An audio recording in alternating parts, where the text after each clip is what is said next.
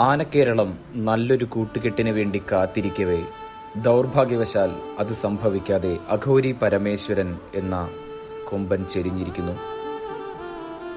കായംകുളം ശരത് ഏറെ നാളുകൾക്കു ശേഷമായിരുന്നു മറ്റൊരാനയിൽ കയറാൻ തീരുമാനിച്ചത്.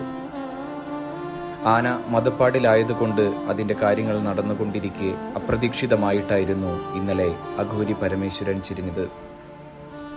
ഏറെ നാളത്തെ ആഗ്രഹത്തിനൊടുവിൽ കൊമ്പൻ ഗ്രൂപ്പിന്റെ ഉടമ ദീപു കുറച്ചു നാളുകൾക്ക് മുൻപായിരുന്നു പരമേശ്വരന്റെ ഉടമസ്ഥാവകാശം കൈപ്പറ്റിയത്.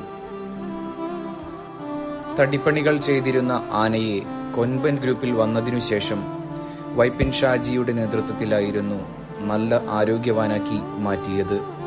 ഏറെ നാളായി നീരു പോലും ഒലിക്കാതിരുന്ന ആനയ്ക്ക് അതിനുശേഷമായിരുന്നു മതപ്പാട് പോലും വന്നത്.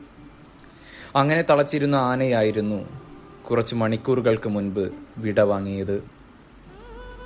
പരമേശ്വരന്റെ ഓർമ്മകൾക്ക് മുന്നിൽ പ്രണാമം.